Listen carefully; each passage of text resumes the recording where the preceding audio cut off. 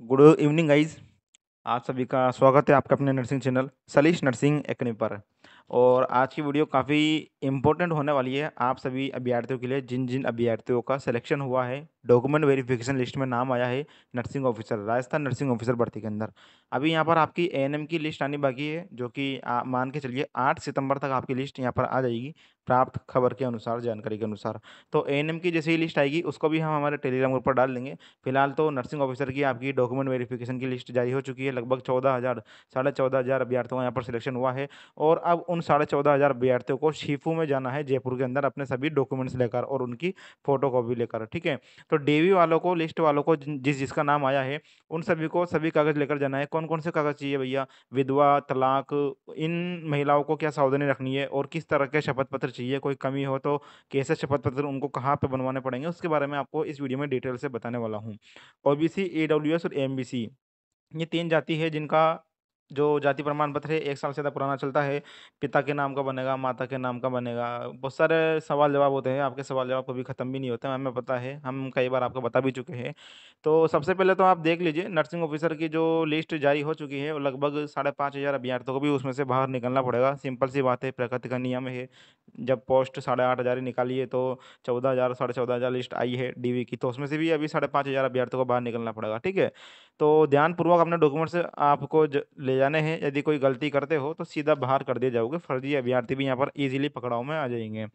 जिन जो जो physical handicapped है उनको पहले अपने अपने नाम के आगे जो हॉस्पिटल का नाम दिया गया है शायद एक तो जयपुरी हॉस्पिटल है एक और हॉस्पिटल है और एक अपना मुख्य जो हॉस्पिटल है जयपुर में एसएमएस तो वहाँ जाना है और पहले मेडिकल करवाना है सुबह सुबह जाके है ना चेकअप कर, करेंगे आपका मेडिकल की क्या कमी है आपके में कौन सी बीमारी है किस तरह की बीमारी है वन लेग टू लेग ठीक है आँख की दिक्कत है वो सभी उसके बाद जो है नौ साढ़े नौ बजे या दस साढ़े दस बजे से आपका जो है यहाँ पर डीवी होगा।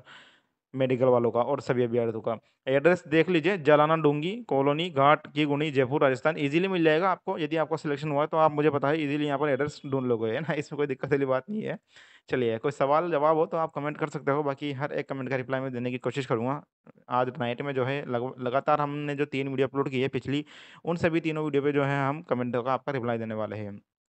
कल मैंने आपको पूरी जानकारी बताई थी भाई, किस तरह से क्या कुछ तैयार की गई मेरिट, है ना? कितने मेरिट गई और किस तरह से कितने अभ्यर्थियों का सिलेक्शन हुआ? आज बात करेंगे यहाँ पर वेरीफिकेशन के कागज़ के बारे में।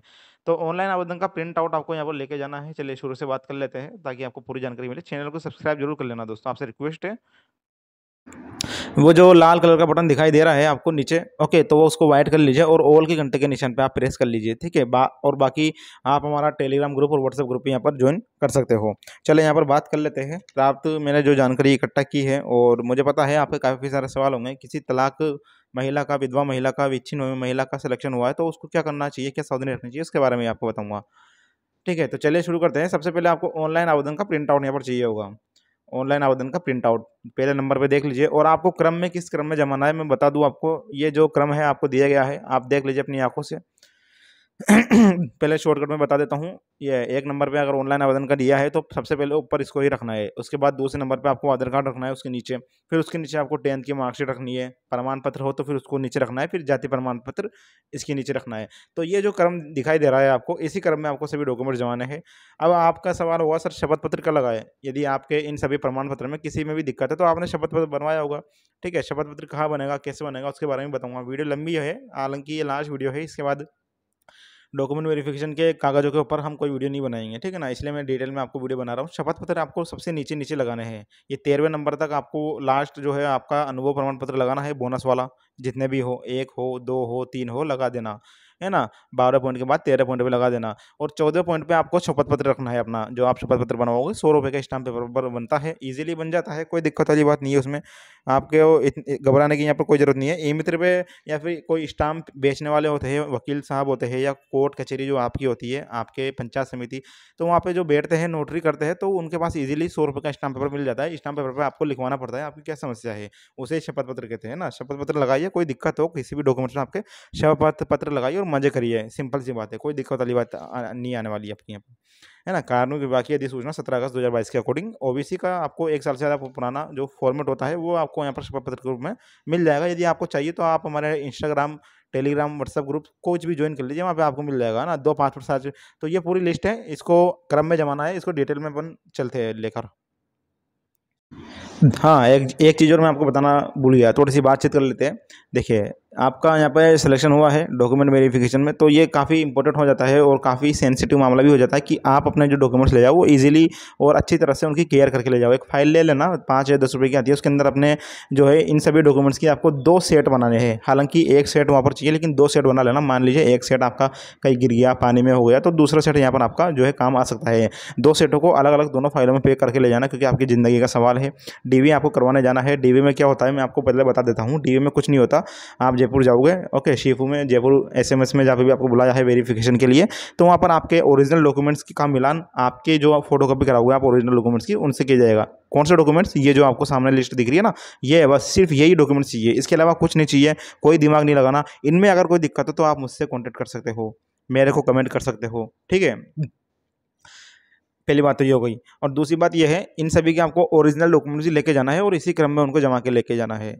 ओके, ऑनलाइन आवेदन, आधार कार्ड, टेंथ की मार्कशीट, जाति, मूल, है ना, ये मेरे सर्टिफिकेट बच्चे हो तो बच्चे का, खिलाड़ी का बूथ सैनिक तो शायद ही कोई हो अपने नर्सिंग में, ठीक है?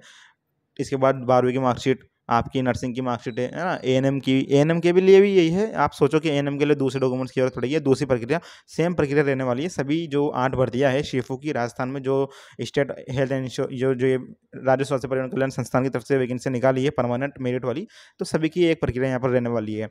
ओके एंड काउंसिलिंग का आरएनसी आपका आर एन में पंजीकरण होना आवश्यक है। सिंपल सी बात है, और उसके बाद, पंजीकरण के बाद ही आपके पास एक्सपीरियंस है तो वही मान्य रहेगा, ये पुरानी बातें हैं, बीत गई। सिर्फ़ आपको अभी अपने डॉक्यूमेंट्स यहाँ पर तैयार रखने हैं। चले चलते हैं, शुरू करते हैं वीडियो को। दोस्तों, मैंने आपसे पहले भी बोला है, जिसको चिंता होगी वो पूरी वीडियो देखेगा, और जिसको चिंता नहीं होगी, वो जो है आधे वीडियो में ही स्किप करके चला जाएगा और भटकता रहेगा ना? वीडियो पूरी देखोगे तो सभी कुछ चीज़ें यहाँ पर आपकी क्लियर हो जाएगी। अब चलिए, यहाँ पर बात करते हैं अपन। सबसे पहले ऑनलाइन आवेदन का प्रिंट आउट तो ये वही है भैया, आपकी प्रिंट आउट आपने जो फॉर्म भरा था तो इमित्र वाले ने आपको दो पेज का जो है प्रिंट आउट दिया हुआ, है ना शख्सियत और पूरी जानकारी उस पर रहती है तो वो चाहिए आपको। उसकी भी दो दो ज़रूरत करवा लेना।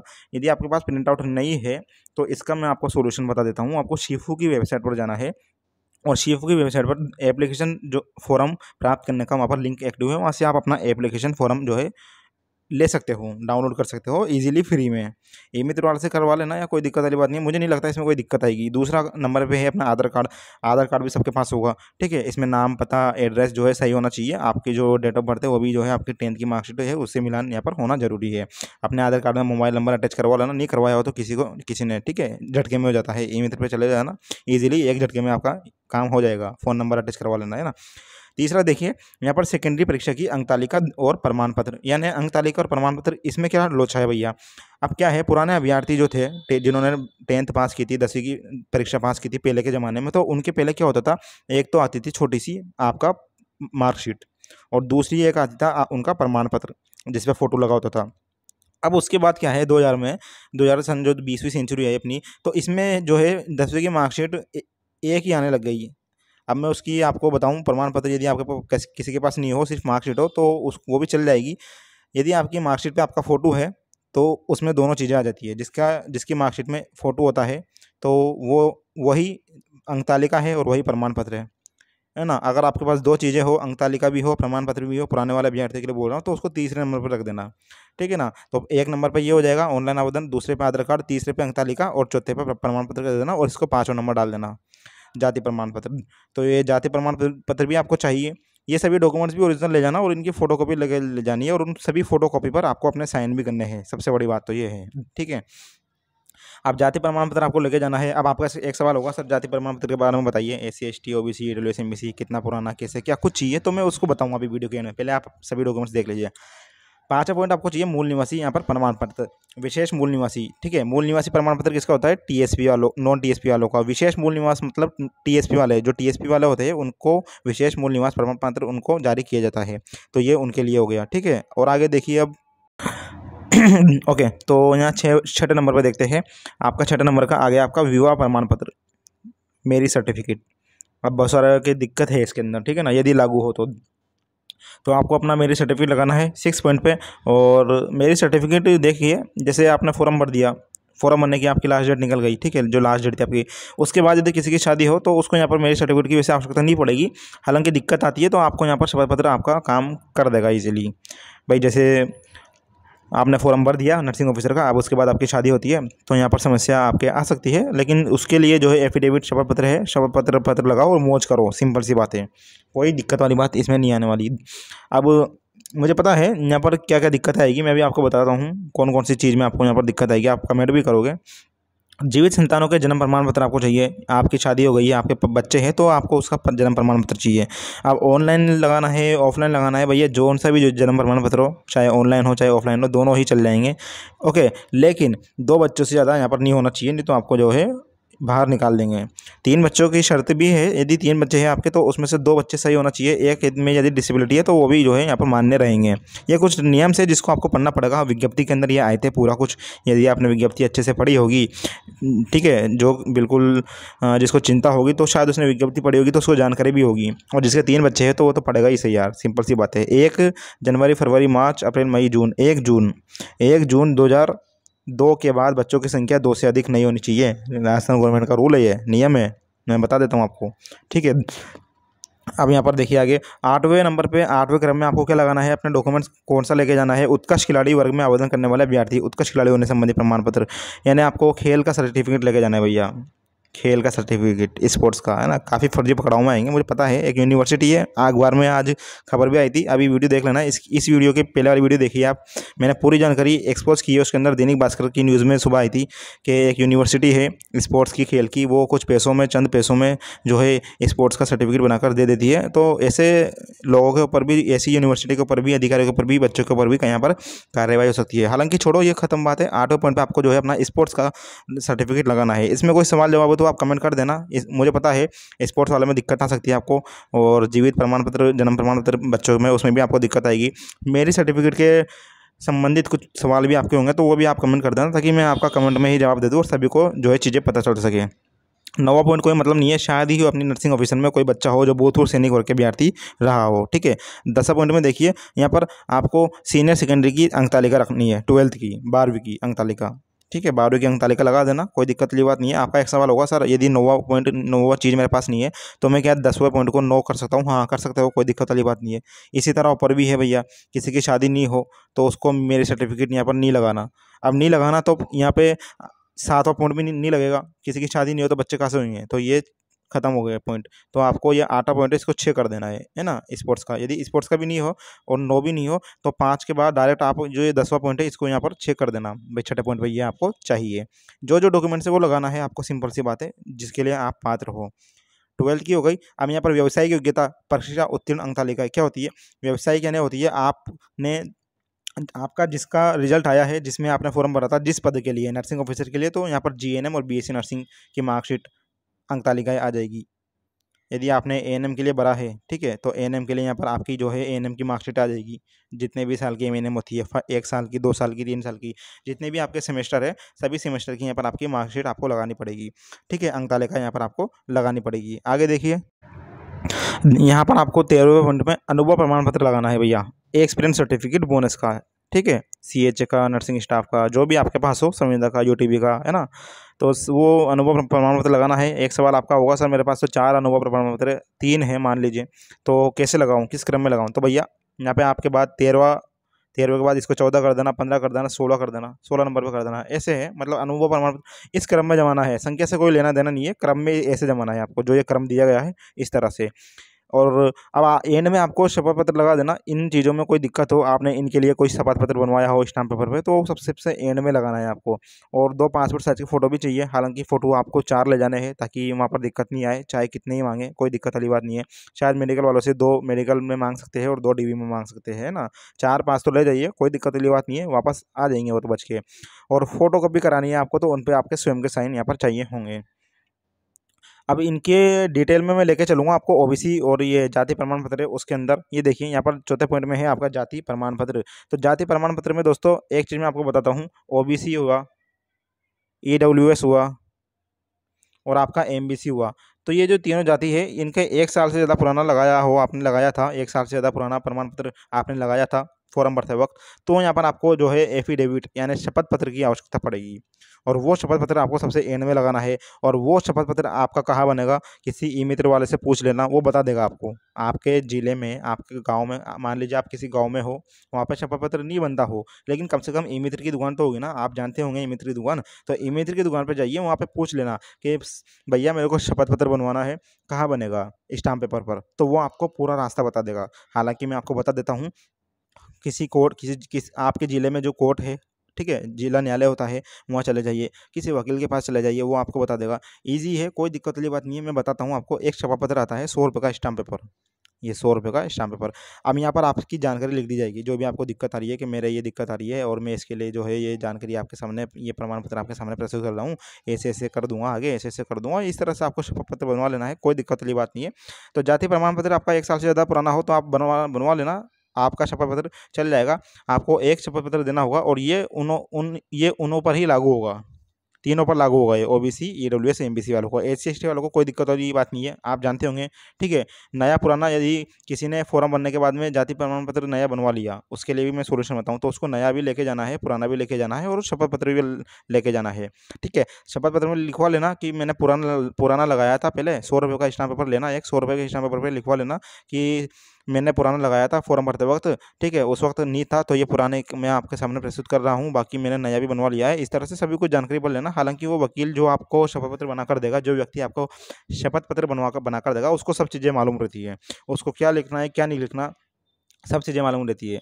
आप यदि कोई धंधा करते हो चीज़ की दुकान तो आपको चीज़ की दुकान के बारे में सब चीज़ें पता रहेगी, पता है। आपके कपड़े की दुकान है तो आपको कपड़े के बारे में सब चीज़ें पता रहेगी। उसी तरह वकील को भी सभी चीज़ें यहाँ पर पता रहती है। डिटेल में समझा रहा हूँ आपको एक एक चीज़ ताकि आपको दिक्कत नहीं आए। ठीक है, दो सितंबर से शुरू हो रहा है वेरिफिकेशन, मुझे पता है, नर्सिंग ऑफिसर के ग्यारह सितंबर तक चलेंगे, आठ सितंबर से यहाँ पर ए के भी शुरू हो जाएँगे। जिन जिन बहनों का ए में लिस्ट ए की डी में लिस्ट में नाम आएगा तो उनको भी सेम टू सेम यही प्रक्रिया करनी है, कोई चेंजेस नहीं है। सबसे बड़ी बात तो ये है। ओबीसी का एक साल से पुराना हो तो फॉर्मेट आता है फॉर्मेट आपको चाहिए तो मिल जाएगा, दिक्कत नहीं आनी चाहिए आपको, है ना? आप सवाल भी जो है कर सकते हो, कोई दिक्कत वाली बात नहीं है। नाम में कोई गलती हो, पता में कोई गलती हो, आपने एड्रेस गलत लिख दिया तो उसके लिए आप पत्र पत्र लगा देना। और फ़िज़िकल हैंडीकेप वालों, मैं आपको बता दूँ, चालीस परसेंट से यदि आपके पास अधिक है तो ही आपको यहाँ यहाँ पर वैलिड किया जाएगा, नहीं तो आपको बाहर निकाल दिया जाएगा।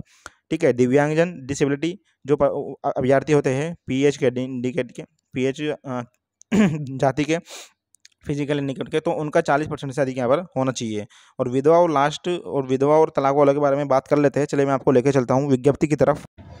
ये मैंने विज्ञप्ति खोल ली है महिला स्वास्थ्य कार्यकर्ता की। ओके, उन्नीस मार्च को आई थी आपकी। ठीक है तो सोलह पेज की विज्ञप्ति है। मैं आपको मेन चीज़ की तरफ़ लेकर चलता हूँ सीधा। ये देखिए भैया, ग्यारह पॉइंट पे नौवा पॉइंट है। इसमें विधवा और विच्छिन्न विवाह वालों के लिए दिया गया है। यदि कोई महिला द्वारा आवेदन की अंतिम दिनांक के बाद पुनः विवाह कर लिया जाता है, मान लीजिए कोई विधवा महिला है, विच्छिन्न महिला है है ना? तो उसको तो यहाँ पर वैसे मिलना चाहिए, आरक्षण उसका सिलेक्शन भी होना चाहिए। तो कोई विधवा महिला है, उसने फॉर्म भर दिया नर्सिंग ऑफिसर का या फिर ए का या फिर कोई सी भी भर्ती का। ठीक है, भर दिया, विधवा में भर दिया। ठीक है तो विधवा का रिजर्वेशन उसको मिलेगा और यदि वो फॉर्म भरने के बाद शादी कर लेती है तो भी उसको विधवा में ही माना जाएगा, ऐसा इसमें लिखा गया है। इसके अलावा और मैं आपको बता दूँ, किसी विधवा या कोई विच्छिन्न महिला है, उसका तलाक संबंधित प्रकरण, ठीक है, माननीय न्यायालय में चल रहा है या विचारधीन है, लंबित है, पेंडिंग में है, वो चाहती है कि तलाकशुदा व महिला की मुझे तलाक मिल जाए लेकिन तलाक नहीं मिला, है ना? उसने न्यायालय में लगा दी याचिका, लेकिन उसको तलाक नहीं मिला। तो भी उसके ऊपर जो है उसको लाभ नहीं मिलेगा, उसको माना नहीं जाएगा। वो जिस भी जाति में आती है, उसी जाति के अनुसार उसको आरक्षण मिलेगा। ओबीसी के तलाकशुदा है। न्यायालय के अंदर, कोर्ट के अंदर चल रहा है मामला तो उसको ओबीसी की ही अकॉर्डिंग यहाँ पर सिलेक्शन लिया जाएगा, तलाक के अकॉर्डिंग यहाँ पर सिलेक्शन नहीं लिया जाएगा, ठीक है?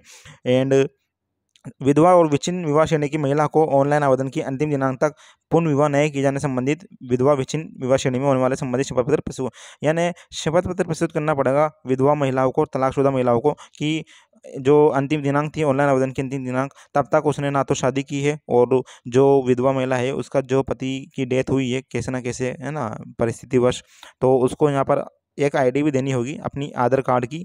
आधार कार्ड दे दो।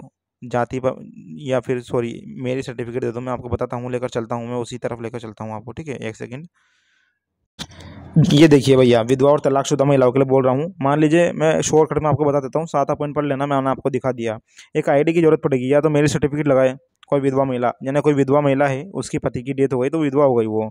तो यहाँ पर क्या है, उसको एक शपथ पत्र लगाना पड़ेगा, ठीक है? डेथ सर्टिफिकेट तो लगाना ही पड़ेगा। ये हो गया डेथ सर्टिफिकेट ये तो लगाना पड़ेगा। यहाँ पे एक शपथ पत्र भी लगाना पड़ेगा कि जो फॉर्म भरा है, उसकी डेट तक जो है, उसने यहाँ किसी से शादी नहीं की, इस तरह का। और एक आईडी लगानी पड़ेगी। या तो मेरी सर्टिफिकेट लगाते हैं, ये देखिए, विवाह पंजीयन प्रमाण पत्र या फिर कोई मतदाता वोटर आईडी पिता की, उसके पति की, जनाधार लगा दे। जिसमें साफ़ साफ़ ज़ाहिर होता हो कि वो विधवा महिला है, जिस, जिसके, जिसका वो पति था, उसकी ही वो पत्नी थी। है ना? सबूत होना चाहिए, सबूत मांगती है गवर्नमेंट सीधी सी बात है। और तलाकशुदा को भी यहाँ पर शपथ पत्र लगाना पड़ेगा कि जो ऑनलाइन आवेदन की अंतिम डेट थी, तलाकशुदा महिला, ठीक है? तो तब तक उसने शादी नहीं की, इस तरह का शपथ पत्र और तलाक हुआ तो तलाक का जो प्रमाण पत्र होता है, वो तो चाहिए ही। ओके? और जो उसके पति का पति का कुछ पहचान हो, जिसमें वो पति था पति था उसका तो वो भी आपको चाहिए होगा। तलाकशुदा महिलाओं के लिए बोल रहा हूँ। बाकी तो ये देखिए, ये मैं आपको दिखाता हूँ, इसमें लेके ये पूरा कुछ दिया गया है। आप विज्ञप्ति तो पढ़ते हो नहीं, और फिर सवाल जवाब करते रहते हो, परेशान होते फिरते हो, इधर उधर घूमते रहते हो, है ना? इसमें देखिए, मैं बताता हूँ आपको। अब ये देखिए, वो, ये बड़ी समस्या है, पाँच पॉइंट कई सारी महिलाएँ हैं जिन लोगों ने फॉर्म भरा था, ठीक है? तो उन्होंने कहा एक सवाल था कि, सर, मुझे जाति प्रमाण पत्र पिता के नाम का चाहिए या फिर पति के नाम का? मैं उसका कन्फ्यूज़न यहाँ पर दूर कर देता हूँ, है ना? पिता का चाहिए, पति का चाहिए महिलाओं को। ये देखिए, जो अनुसूचित जाति और अनुसूचित जनजाति की विवाहित या फिर अविवाहित, जिसकी शादी हो गई हो या नहीं हुई हो, उसको जो है अपनी जाति का जो आरक्षण प्राप्त करने के लिए पिता के नाम और निवास स्थान के आधार पर ही राजस्थान राज्य के सक्षम प्राधिकारी द्वारा विहित प्रारूप में नियमानुसार जारी, जाति प्रमाण पत्र यहाँ पर विस्तृत आवेदन पत्र के साथ प्रस्तुत करना आवश्यक है। साफ़ साफ़ लिखा गया है, पिता के नाम का ही चलेगा, पति के नाम का नहीं चलेगा। पति के नाम का बनवा लिया है तो भैया या तो आपको रिजेक्ट कर देंगे या फिर आप शपथ पत्र लगा दीजिए। अभी तो फ़िलहाल अब यदि आपके पति का नाम का बना हुआ है है ना, ये काफ़ी सारे सवाल आए थे मेरे पास में, अभी मैं ईडब्ल्यूएस के बारे में भी आपको दिखा दूँगा। तो ये लिखा गया है, साफ़ साफ़ मैं पढ़कर दिखा देता हूँ। जाति प्रमाण पत्र विस्तृत आवेदन के साथ प्रस्तुत करना पड़ेगा, अन्यथा उसे उस वर्ग का लाभ दे नहीं होगा। पति अथवा पति एवं पिता के संयुक्त नाम, जैसे संयुक्त नाम से भी बना हुआ है किसी का, पति का भी है, पिता का भी है, उस के आधार पर जाति प्रमाण पत्र बना हुआ है तो वो भी जो है यहाँ पर मान्य नहीं होगा। सिर्फ़ और सिर्फ़ पिता के नाम का ही होगा। फादर इज़ गॉड, फादर ही भगवान है, सिंपल सी बात है। छठा पॉइंट में देखिए, यहाँ पर आर्थिक रूप से कमज़ोर ई e के आवेदकों को नियम अनुसार सक्षम प्राधिकारी द्वारा ध्यान से सुनना, जो ई e के है। ई डब्ल्यू एस की महिलाओं को मज़ा आ गया भैया। ई डब्ल्यू एस की महिलाओं की कम गई है बहुत, ठीक है ना? बहुत कम गई है परसेंटेज बाकी ई एस के जो पुरुष है, उनका तो मरण हो गया। ओ बी सी के बराबर चली गई उनकी percentage high. E W S महिलाओं की यहाँ पर कम गई और ई डब्ल्यू एस की पुरुषों की ज़्यादा। चलिए छोड़ो, आगे चलते हैं। आर्थिक रूप से कमज़ोर जो ईडब्ल्यूएस के आवेदक है, उनको जो है नियम के अनुसार सक्षम प्राधिकारी द्वारा निर्धारित प्रारूप में इनकम और असेस्ट सर्टिफिकेट प्रस्तुत करना होगा। आर्थिक रूप से कमज़ोर वर्ग के आवेदकों को जारी किए गए इनकम और इनकम सर्टिफिकेट की वैधता के संबंध में सामाजिक न्याय और अधिकारिता विभाग के परिपत्र दिनांक के अनुसार यह विनिर्दिष्ट किया गया है कि राज्य के लिए जारी किए गए इनकम असेस्ट सर्टिफिकेट एक वर्ष के लिए मान्य होगा। यानी जो ई का सर्टिफिकेट होता है दोस्तों, वो भी एक वर्ष के लिए ही मान्य होता है। जो वित्तीय वर्ष होता है आपका मार्च से अगले साल मार्च तक। ठीक है, समझ में आई होगी आपको बात? अब पुराना है तो उसका तो कुछ नहीं कर सकते, आपको नया बनवाना चाहिए था यह आपकी लापरवाही है। आगे सुन लीजिए इसका उपाय भी। एक बार उक्त इनकम और असिस्ट सर्टिफिकेट जारी होने के बाद अगर प्रार्थी आगामी वर्ष में भी आर्थिक रूप से कमज़ोर वर्ग के लिए निर्धारित मापदंडों के अनुसार पात्र है तो ऐसी स्थिति में प्रार्थी से सत्यापित संलग्न शपथ पत्र के आधार पर पूर्व में जारी इनकम और असिस्ट सर्टिफिकेट को ही मान लिया जाएगा। ऐसा अधिकतम तीन वर्षों के लिए किया जा सकता है, ठीक है? तो यदि एक साल का तो चलेगा, एक साल के लिए मान्य रहता है, लेकिन आप मान लीजिए आप अगले साल भी जो है ई डब्ल्यू एस की श्रेणी में आते हो, पात्र रखते हो, यानी आप गरीब हो भैया, ठीक है, आर्थिक रूप से कमज़ोर, इससे कहते हैं ई डब्ल्यू एस तो आपका जो है, ये भी अधिकतम तीन साल के लिए चल जाता है। लेकिन आपको यहाँ पर शपथ पत्र जो है, संलग्न शपथ पत्र प्रस्तुत करना पड़ेगा ई डब्ल्यू एस वालों के लिए बोल रहा हूँ मैं। बहुत सारा सवाल आए थे कि, सर, मेरा तो ई डब्ल्यू एस एक साल से ज़्यादा पुराना हो गया, मैं क्या करूँ? मुझे बाहर निकाल देंगे क्या? नहीं निकालेंगे? शपथ पत्र जिंदाबाद है, मैंने बोला है आपसे हज़ार बार शपथ पत्र लगाओ, मौज करो शपथ पत्र लगाओ, मौज करो। ये चीज़ें हैं अब मैं ये देखिए, मैं बताता हूँ आपको एक सेकेंड अपनी विज्ञप्ति के ग्यारहवें, दसवें ग्यारह पॉइंट पे देख लेना प्रमाण पत्रों का सत्यापन, इसको पढ़ लेना। ठीक है ना? ग्यारह से सोलह पेज का है, बहुत सारी चीज़ें इसमें बताई गई है, जो आपके लिए यहाँ पर जानने ज़रूरी है। मैं और आपको बता देता हूँ मोटी मोटी ये देखिए, आपका जो जाति प्रमाण पत्र है अनुसूचित जाति, अनुसूचित जनजाति, अन्य पिछड़ा वर्ग ओबीसी एमबीसी वालों का या फिर ईडब्ल्यूएस वालों का, उसका आपको यदि लाभ लेना है, आरक्षण का लाभ लेना है तो जाति प्रमाण पत्र ऑनलाइन आवेदन की जो आपकी अंतिम तिथि थी, जो आपकी लास्ट डेट थी फॉर्म बनने की, तक, उस तक जो है यहाँ पर जारी किया हुआ प्रस्तुत करना होगा। यानी उसके बाद का यदि आप लगाओगे तो नहीं चलेगा, उसके पहले पहले का चाहिए। है ना? और देखिए, अभी देखिए इसमें तीसरा पॉइंट बहुत इंपॉर्टेंट है। राजस्थान राज्य के अन्य पिछड़ा वर्ग या फिर अति पिछड़ा वर्ग के जो क्रिमिलियर के आवेदक है, उनको यहाँ पर आरक्षण का लाभ नहीं है। यानी आप जो क्रिमिनल लेयर के होते हैं ओबीसी या फिर एमबीसी वाले, उनको आरक्षण नहीं मिलता। ओबीसी और नॉन ओबीसी एनसीएल वालों को मिलता है, ठीक है ना? ओबीसी एनसीएल वालों को। तो यदि कोई सी है क्रिमिनल क्रिमी लेयर का है, आवेदक ओबीसी एमबीसी अन्य पिछड़ा वर्ग, अति पिछड़ा वर्ग तो आरक्षण का लाभ नहीं मिलेगा। ऐसे आवेदकों को ऑनलाइन एप्लीकेशन फॉर्म में सामान्य वर्ग के आवेदक के रूप में आवेदन करना होगा। जनरल में काउंट की जाएँगे, ठीक है? आगे देखिए। ये आठवां पॉइंट देख लीजिए भैया, आपका अनुभव प्रमाण पत्र जो आपने फर्जी लगाए थे, सुबह दैनिक अखबार में एक न्यूज़ आई थी। अनुभव प्रमाण पत्र बोनस का जो आपका अनुभव प्रमाण पत्र है, वो ऑनलाइन आवेदन में भरे जाने की प्रारंभ तिथि से ठीक पूर्व दिनांक तक, जो आपकी प्रारंभ तिथि से ठीक पूर्व दिनांक तक का आपको जो है अनुभव अवधि जारी हेतु जारी किया हुआ होना चाहिए। आवेदन की अंतिम दिनांक के पश्चात जारी नहीं किया गया हो, ध्यान रखना। आपको समझ में आया होगी? ये इसलिए डिटेल में समझा रहा हूँ यार, क्योंकि काफ़ी सारे दिक्कतें होती है ना। देखिए एनओसी के बारे में बात करते हैं। अब ये देखिए, ये मेरी सर्टिफिकेट का आ गया दस पॉइंट में, है ना? डॉक्यूमेंट वेरिफिकेशन का बता रहा हूँ आपको। जिन लोगों ने पंजीकरण मेरी सर्टिफिकेट नहीं बनवाया था और फॉर्म भर दिया था, ठीक है, कोई दिक्कत वाली बात नहीं है। यदि आपकी पोस्टिंग होती है तो यहाँ पर आपको मेरिट सर्टिफिकेट यहाँ पर देना ही पड़ेगा। ये देखिए, उक्त परिपत्र जारी होने की तिथि से पूर्व विवाहित अभ्यर्थी जिन्होंने विवाह पंजीयन नहीं कराया है, उनके द्वारा इस आशय का शपथ पत्र आपको प्रस्तुत करना पड़ेगा। मैं बोल रहा हूँ आपसे, शपथ पत्र सभी रामबाण का उपाय है। मैंने आपको पहले भी बोला है, मैं थक गया बोलते बोलते यार। है ना? शपथ पत्र सबका रामबाण उपाय है। और आगे देखिए, ये देखिए, जनवरी, फरवरी, मार्च, अप्रैल, मई, जून। एक जून 2002 के अकॉर्डिंग बच्चों की संख्या यहाँ पर दो से अधिक नहीं होनी चाहिए। यदि दो से अधिक भी है तो उसमें भी एक बच्चा जो है, यदि आपको डिसेबिलिटी है, निशक्त है तो जो है चल जाएगा, लेकिन तीन बच्चे आपके हैं, वो अच्छे खासे हैं तो आपको यहाँ पर कैंसिल कर दिया जाएगा आपका आवेदन। बाकी जो आप अपने डॉक्यूमेंट्स ले जाओगे, वो एकदम अच्छे होने चाहिए। ये ऐसा लिखा गया है। ओके बाकी तो कुछ खास है नहीं इसमें। अब यहाँ पर वैसे तो तेरह पॉइंट में लिखा गया है कि पुलिस सत्यापन की भी आवश्यकता पड़ सकती है प्रमाण पत्र की। हालाँकि ऐसा कुछ है नहीं, लेकिन फिर भी जो है, यदि मान लीजिए आपका डीवी में नाम आ गया है तो पुलिस वेरिफिकेशन बनवा लेना आप। ये जो तेरहवा पॉइंट है, चौदहवा पॉइंट है, पंद्रहवा पॉइंट है, ये तेरहवा पॉइंट पुलिस वेरिफिकेशन के लिए है। चौदह पॉइंट आपका मेडिकल सर्टिफिकेट जो बनेगा, ना, वो चाहिए है। और यहाँ पर आपको पंद्रह पॉइंट आपका जहाँ पर किस चीज़ का है? ये है आपका एनओसी का। अब ये चयन उपरांत है है ना? चयन उपरांत देखिए आपका सिलेक्शन हो जाएगा फाइनल में, उसके बाद आपको यहाँ पर ज़रूरत पड़ेगी इसकी पुलिस वेरिफिकेशन की तो आप अभी अप्लाई कर देना। क्या पता आपको पोस्टिंग जल्दी मिल जाए, वैसे बहुत फास्ट काम हुआ है इस बार शेफों की तरफ़ से, पिछली बार जब भर्ती आई थी उसमें तो लेट हुआ था, है ना? तो यहाँ पर आपको पुलिस वेरीफिकेशन बनवा लेना है। आपका मेडिकल सर्टिफिकेट बनवा लेना है। ओके और आपको फ़िज़िकल हैंडीकेट वालों को गठित जो मेडिकल बोर्ड है, उसके समक्ष उपस्थित होना है। पंद्रह पॉइंट में यदि आपने कहीं काम करा है प्राइवेट में गवर्नमेंट में तो अभी कर रहे हो तो वहाँ से एनओसी आपको चाहिए। नो ऑब्जेक्शन सर्टिफिकेट प्रमाण पत्र होता है ये नो ऑब्जेक्शन सर्टिफिकेट जब आपकी पोस्टिंग होगी, तब मांगा जाएगा तीनों चीज़ें। चलिए, आगे बात करते हैं। अब ये तो कुछ खास ही नहीं, मैंने पूरी पूरी चीज़ यहाँ पर बता दी आपको क्लियर तो ये थी भैया, अब हमारा मैं थोड़ा सा प्रचार प्रसार कर लेता हूँ। ये टेलीग्राम ग्रुप है, सलीश नर्सिंग एकेडमी तो टेलीग्राम पर जाइए सर्च कर लीजिए S L I S H nursing academy Salish nursing academy मिल जाएगा। या फिर हमारे वीडियो के नीचे आपको, इसी वीडियो के नीचे टेलीग्राम ग्रुप का लिंक व्हाट्सअप ग्रुप का लिंक इंस्टाग्राम का लिंक सभी लिंक मिल जाएँगे फेसबुक का लिंक तो आप ज्वाइन कर लेना फॉलो कर लेना अपने भाई को। अपना, आपका भाई इसी तरह से आपके लिए जानकारी लाता रहेगा।